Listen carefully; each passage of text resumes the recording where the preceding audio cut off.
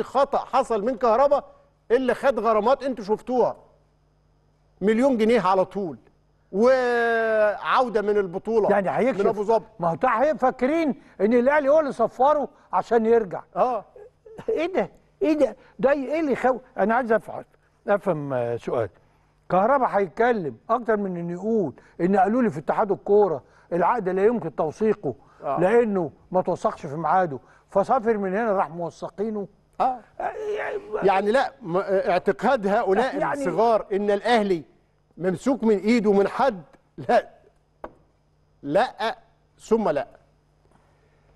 طاهر محمد طاهر أنا بقول لكم كل نجوم الأهلي في مرمى الجهل والغرض والمرض.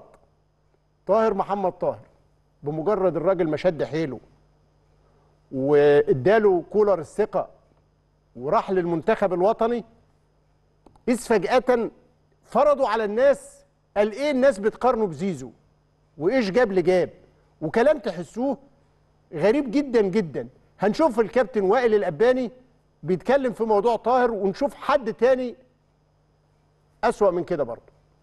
كنا بنتكلم على صورة طاهر وزيزو. رأيك في الاثنين وتقييمك لأدائهم وطاهر؟ طاهر لما جه النادي الأهلي هو لعيب كويس في الأصل لكن مستواه قل قل قل قل لدرجة إن الأمور بقت معاه ممكن تكون كانت صعبة لكن كون هو اشتغل على نفسه وظهر السنة دي بمستوى كويس فده يتحسب له. لما بيبقى كويس هنقول إن هو كويس. طاهر الفترة دي ماشي كويس. طاهر الفترة دي أداؤه أحسن بكتير. الاستمرارية بقى اللي هتقول. طب واحد لما يجي يقارن بطاهر وزيزو مفيش مقارنة. ليه بقى؟ هقول لك ليه. لأن ده واحد مستمر في الملاعب زيزو أحسن لعيب في مصر كذا سنة. تمام؟ يمكن مستواه قل الفترة دي بس الفترة البسيطة دي وما قلش في مستوى طاهر خد بالك. يعني لما مستوى طاهر لما كان قل ال- النسبة بتاعته في النزول كانت أكتر من نسبة زيزو. تمام؟ أنت قصدك استمرارية يعني. طبعا. فما يعني محتاج من طاهر تجيش على لعيب جاب جون مع منتخب مصر تقول أصل زيزو بقى له فتره في منتخب مصر ما جابش جوان لا دور زيزو مهم جدا. زيزو عمل اجوان دور مهم جدا تكتيكيا. زيزو بيلعب في وجود محمد صلاح طاهر ما بيلعبش في وجود محمد صلاح. زيزو بيلعب في ماتشات مضغوطة. طاهر لعب في ماتش أصلا أي حد يلعب مش هيبقى مضغوط لأن أنت كده كده وصلت. امم صحيح. بالك. الضغوط اللي هي بتبقى لازم على فكرة لازم الصعود لازم يعني. هنا تفرق حضرتك. تمام؟ طيب خالد الغندور عايز يفرض على وائل الأباني مقارنة. أيوه. عشان يتقال إيش جاب لجاب. فالأباني كان الراجل عنده رؤية تحليلية شوية. قال له عايز دلوقتي دلوقتي في الفترة الحالية زيزو مستواه قل. طاهر مستواه هايل. ماشي كويس. طاهر بدايته مع الأهلي كانت أقل الفترات اللي فاتت لكن اتطور. ولما راح المنتخب بقى كويس. بس الحقيقة وائل أباني يحسب له إنه رفض المقارنة لأن قال له ده بيلعب في المنتخب وثابت مستواه بقى له قد إيه؟ وده أول مرة يروح المنتخب. ده كلام رؤية فيها وعي من وائل الأباني برغم محاولة بندق لتوريطه. إنما اللي اتورط وادعى إن في حملات للمقارنة الأستاذ عمرو أديب. نشوف. موسم العقد بتاع زيزو دايما. في دايما مشكلة عقد زيزو. يعني من أول ما زيزو دخل الزمالك في آه زيزو وياخد كام وكتير قليل. خلاص بلا زعل. وبلا مقارنة ولا أريد أن أصغر من حجم أحد. لكن الحملة اللي موجودة اليومين دول اللي بتسأل هو طاهر محمد طاهر. مش زي زيزو توقفت. يقول لك إيه ده؟ أنتوا عايزين تدوا زيزو الكلام ده؟ ما تشوفوا طاهر بياخد كام؟ ده طاهر أحسن من زيزو. أنتوا بتتكلموا جد؟ زيزو. يقول لك طب ما تبص على ال score sheet بتاعه. شوف آه، طاهر محمد طاهر. وبعدين يبدأوا في سرد أسماء لاعبين في النادي الأهلي لا ترقى. يعني مع احترام يا جماعة طب هو مش في صلاح؟ أنا ينفع أجي أقول لك طب وايه ليه صلاح بياخد كده؟ ده مش عارف مين بهبوع اللعبي مش عارف فين أحسن من صلاح. اللاعبين أسعار ومقامات. قال لك مش عارف بياخد 85 عربيه عرض وطلب. مش عايز بلاش. هو زيزو ده هيبور؟ يعني زيزو ده لو وقف كده في قهوه اللاعبين واتطرح لل... للبيع مش هيلاقي حد يشتريه؟ ده الاهلي نفسه يشتري زيزو. هو زيزو ده قليل.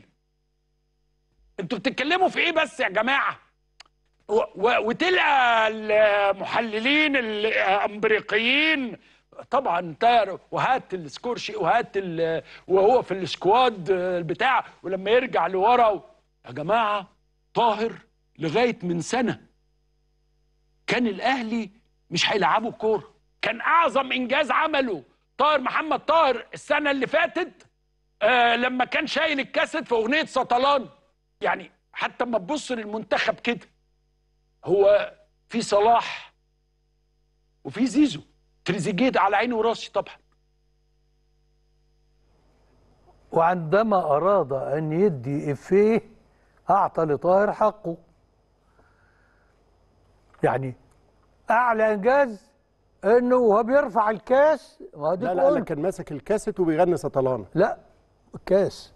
الكاسيت الكاسيت. حبيبي هم طلعوا من الملعب بعد البطولة غنى غنوا الأغنية دي. خلاص؟ يعني فاز بالكأس. وعلى فكرة هو في ماتش الرجاء هو اللي جاب الجون هو اللي حسم موضوع ال- البطولة. آه طاهر محمد طاهر إحنا مش ما, تقدرش تقعد نقارن طول الوقت. يعني أنا واحد من الناس هوايا ومزاجي أشوف حسين الشحات ده لعيب ما حصلش. ده أنا بحب الن- النوع ده. أنت شايف إن زيزو ما حصلش وياخد خلاص ده حقك. لكن إيه بقى نغمة التقل... مين اللي بيقلل بقى دلوقتي؟ أنت رحت على أنا ما سمعتش إن في أي نقد قال مقارنة بين طاهر وحد. زي ما ما سمعتش ان ان إن في ناقد بيقارن بين زيزو ومحمد صلاح مثلا. لأن في حاجات آه، آه، ما اتقالتش. لكن لو ادعينا إنها اتقالت ونبتدي نبني عليها هنا يا أستاذ عمرو والله العظيم انت أنت بتستغل المتابعة على برنامجك التوك شو السياسي في إنك تحدف حاجات ساعات ما بتحصلش. لحد آه آه، جماهير بتحفل على بعضها. أو أول ماتش دولي له جاب جون و ماشي جاب جون. يعني لعيب فعلا على رأي الكابتن وائل كان بعيدا. تقدم الصفوف واحد من ألمع نجوم الدوري المصري حاليا والنادي الأهلي. لازم نحتفي بيه. مش عاجبك ما تحتفيش بيه. نفس منطقك. أنت بتقول زيزو احتفي بيه. اللي مش عايز يحتفي بزيزو هو حر. لكن مسألة إن إحنا نبقى بحجمنا الإعلامي ده و و و ونحذف كلام ما حصلش وملوش لازمة غير إن إحنا نثير جدل يزيد من الاحتقان طيب هو واضح جدا إنه الأستاذ عمرو أديب شأن كتير من الزملكاوية. اتضايقوا إنه طاهر محمد طاهر بدأت الناس تتكلم على إنه يبقى لاعب في المنتخب. زيزو لعيب كبير. محدش يقدر يناقش ولا يختلف إنه بقاله ثلاث أربع سنين واحد من بين أحسن اللعيبة في مصر. لا تبخسوا الناس أشياءهم. أنت عايز تديله مليار جنيه في السنة ما تديله. هو مين اللي هيديله؟ يقول لك بيقارنوا علشان إمام آه اسمه إيه ده؟ زيزو ما يستحقش كذا. لا يا عم يستحق. اديله اللي أنت عايزه. اكتب له النادي. أنت حر. هو الأهلي هيكتب له. اديله نص النادي. الأهلي مش هيدفع ومش هيشتري بالكلام ده. لكن انت علشان تدافع عن صورة زيزو وهي تستحق تقوم حادف كلمتين ثلاثة بإفيهات سفي- سخيفة في حق لاعب زي طاهر محمد طاهر الكل يشهد باجتهاده وبروحه العالية وبالتزامه وباحترافيته وتقول لي كل انجازه غنى سطلانة. لا كل انجاز انه راح كاس العالم للأندية. كل انجازه انه لعب ستة فاينل في دوري الأبطال غيره ما شافهاش بقاله 20 سنة.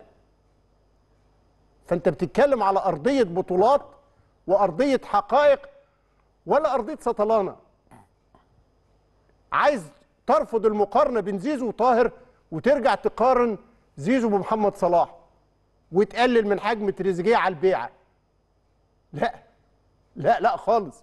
من الناحية الفنية. لكن المصيبة زي ما المهندس عادلي أشار هو انت سمعت الكلام ده فين هي دي عاملة زي الإعلانات التخيلية حد عايز يعبي هوا ما عندوش حاجة فجأة يقول لك كل الناس طالعة تقول زيزو أحسن ولا طاهر اللي هم مين بقى حد؟ كتب على الفيسبوك يعني تعليق بقى. لو أنتوا بتاخدوا شغلكم من السوشيال ميديا أو الكلام اللي بيتقال عند الجمهور لا ده إحنا رحنا لا. وعلى فكرة أستاذ ده إحنا إبراهيم رحنا في داهية إنه الناس بدل ما تناقش آراء جادة حقيقية هي اللي بتنقاد ورا لا كلام. على فكرة في نقطة مهمة. آه. إذا كان أحد الجماهير أو أحد الناس البلوجرز أو اللي بيسموهم بيقول رأيه. بيقول وهو متعاطف مع أي لعيب وشايفه أحسن لعيب ده حقه. بس مين قال لك إن ده رأي؟ عام وده النادي الأهلي؟ لا واذا كان يعني ما تقول فلان الفلاني بيقول. مين هو؟ هل الأمر وأنتوا كلكم بتتفرجوا هل الأمر النادي الأهلي أو إعلام النادي الأهلي. فرض على الناس مقارنة بين زيزو وطاهر وفضل طاهر عن زيزو. ده حاجة وده حاجة.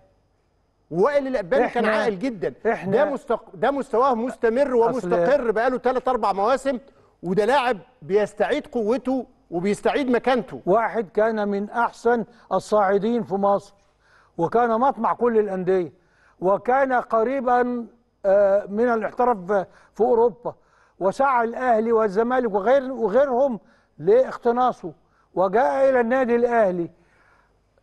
أجاد أحيانا وأخفق أحيانا إلى أن تألق وبدأ في التصاعد. يا أخي إحنا عايزين نعتد بلعيبنا زي ما أنت معتد بلعيبك. آه. أنت حر وإحنا أحرار برضه وجماهير الأهلي حرة. ليه تنكر ليه تنكر على طاهر ما ومن. حق يا سيدي جماهير الأهلي عايزة تشوف طاهر أفضل لعيب في مصر دلوقتي.